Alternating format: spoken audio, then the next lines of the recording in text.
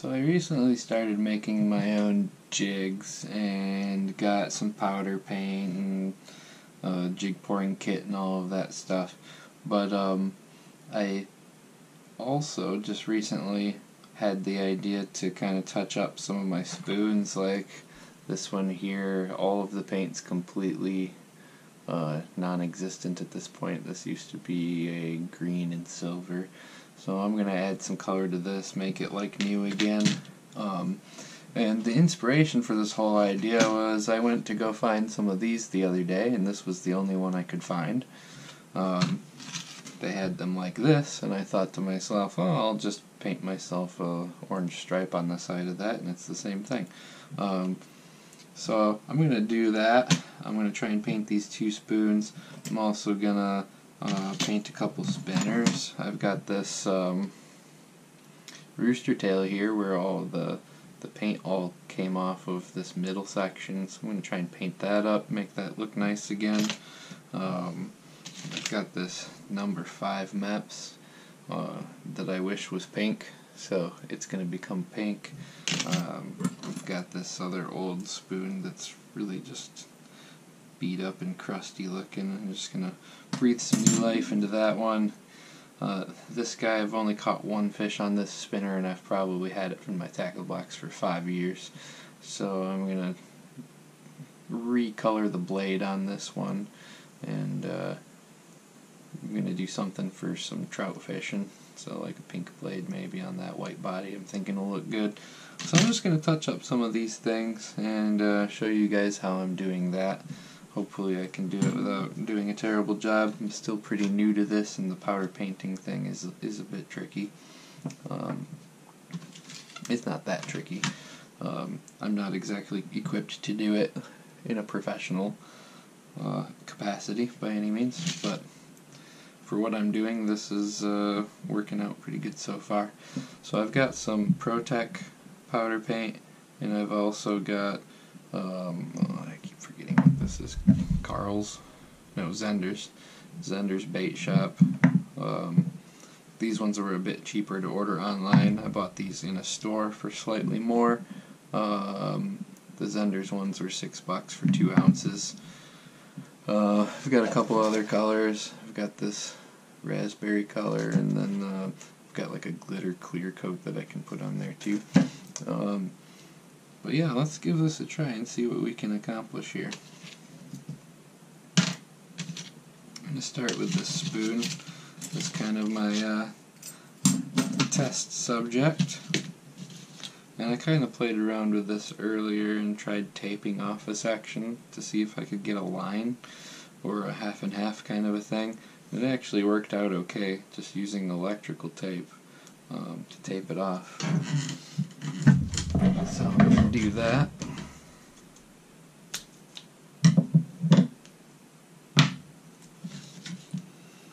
So I'm going to paint this side that was originally painted before.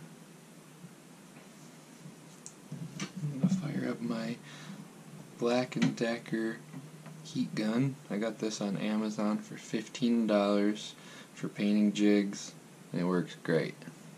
So if you're looking to get into painting lures and you're looking for a heat gun, this thing was dirt cheap and seems to be quite quality.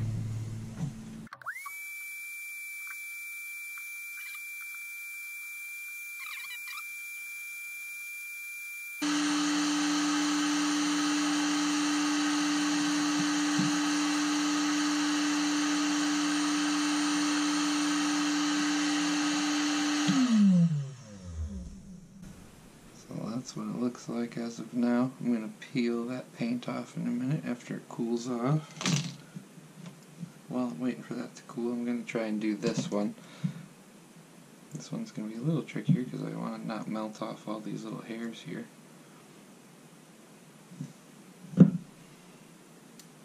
So I've got this uh, wrench that I use, and I just I stuck a little magnet on there, and it works really nice for doing what I'm doing right now because I can magnet that end of it into place there, then hold the blade there, and I can work with this section of it without it all moving around on me. Um, So that's a clever little tip I came up with.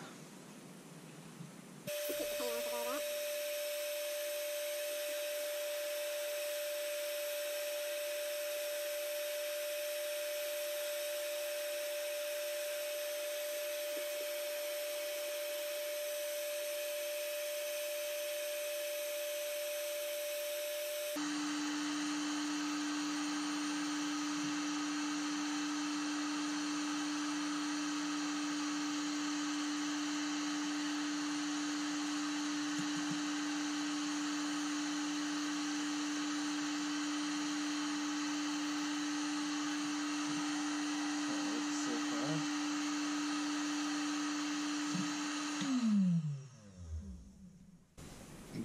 do a fabulous job doing that, but this is going to look a lot nicer when it's done than it did before I started.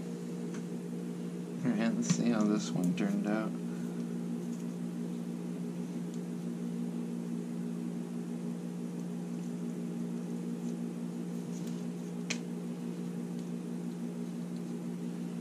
So it's not the most beautiful paint job I've ever seen, but honestly, it doesn't really matter. That does not really uh, contribute to whether or not I catch fish, like the perfection of the paint job. It's the color and the flash that's going to get the bite. So I think that's going to work just fine. If I bust all that paint off, I'll do it again sometime down the road. So this one will be a little different. This one's already painted and it's even got a glossy coating on it. I kind of scrubbed it and washed it a little bit earlier. Um, let's see how this one works out. Alright, so next up, uh, pink Aglia number 5s are like my favorite for springtime and they're actually kind of hard to find. I prefer the gold blade. Usually the back is gold and the top is pink.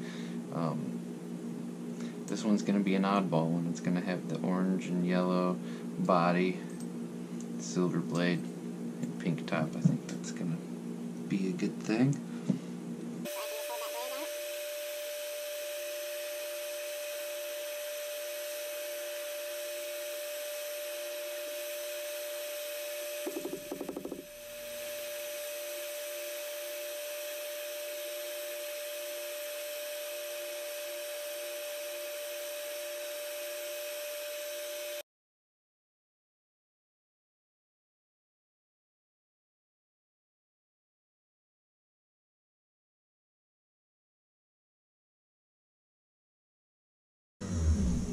Better job dumping the uh, paint on it more evenly that time, and uh, I think that turned out pretty pretty good.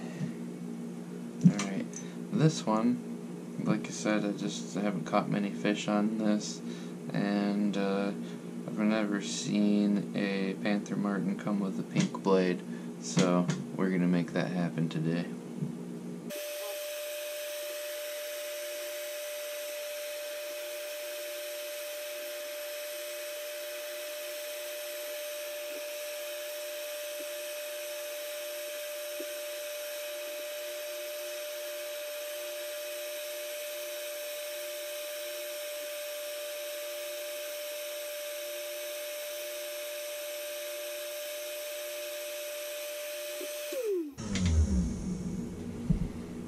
That didn't turn out terrible. I got this crack that formed right here somehow, but there was already a layer of like uneven paint and things there. Again, I don't think the fish care. The color is what matters, the flash is what matters, the vibration is what matters. They're not really gonna notice. I probably shouldn't even do anything to this one because this is like a vintage Mepps, but uh, I don't care. I'm gonna make it colorful so I can catch fish with it. Not that I won't catch fish on it as is. It probably would catch fish just fine as is. Um, but we're gonna doctor it up. I'm actually gonna go orange with this one. That's what I want to do. Orange on a gold blade. Can't go wrong with that. That's why I like these ones in the gold version so much. That orange and gold is pretty magical. Try not to melt these little plastic bits. because if I melt those, the whole thing's not going to work right anymore. So I'm actually going to do it more like this. Keep the heat away from those beads right there. Keep the heat off of those. This one I'm just going to dip right in there.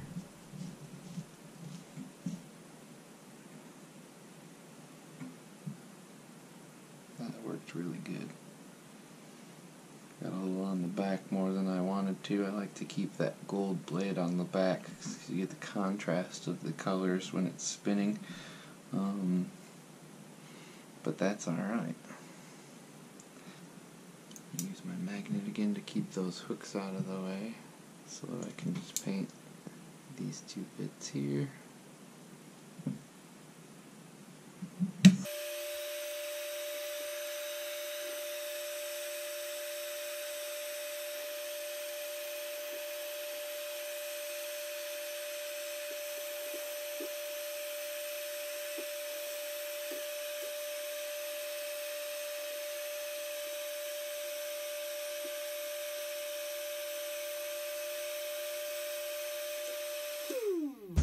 That actually worked out pretty good. My uh, shrink wrapping was starting to melt and smoke a little bit. Uh, not could have moved it ahead of time. That would have been better. Uh, but I got a good paint on that side. It actually didn't paint the other side. Uh, I think I'll go ahead and just paint that other side too. Same.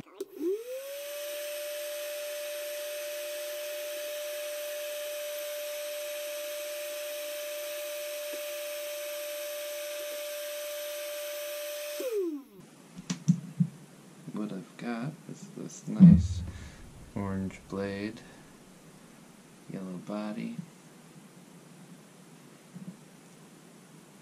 I think that's gonna catch a fish. Alright, now for this Cleo.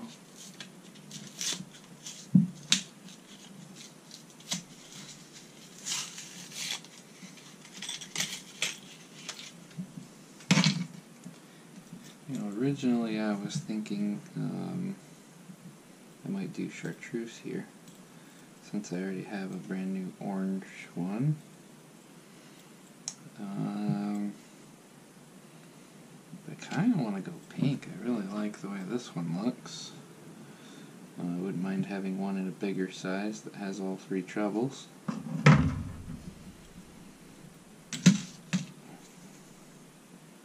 But I think what I'm going to do is get fancy with this one and do two colors.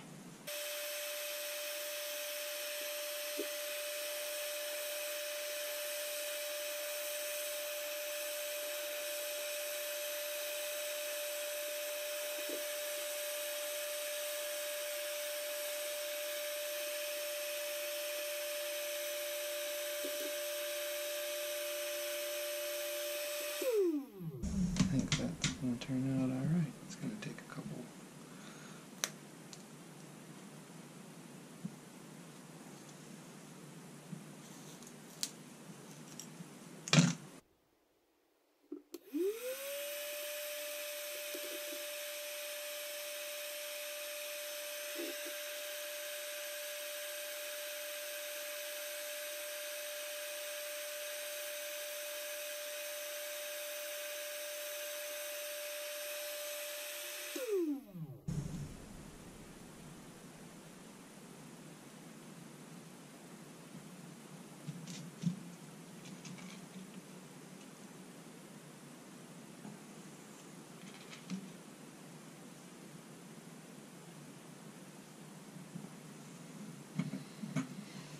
Alright, so that's what I ended up with. I've got some brighter colors here now. I've got some of my favorite springtime color combinations on some of my favorite fishing lures. Uh, I think that this will have me set up to catch some fish. Uh, I can't wait to catch fish on each one of these.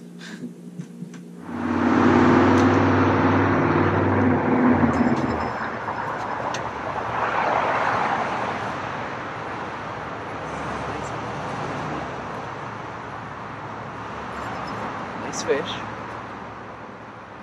My custom painted spoon.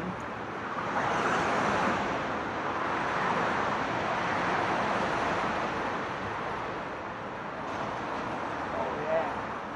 Nice small one.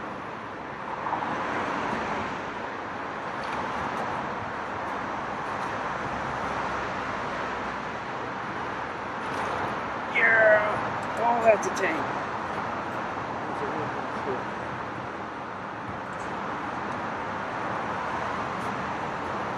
Alright, check this out. I just caught this pretty nice smallie on my jig or my uh, spoon that I just painted last night. I thought this color combination seemed good to me.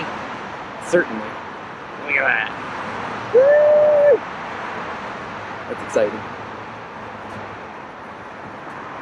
I know this spoon color is good now. Let's see if I can get another one.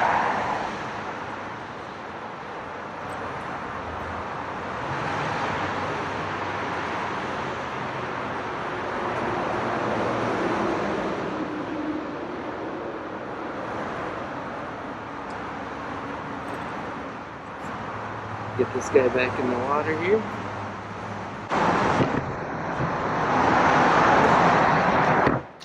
There he goes.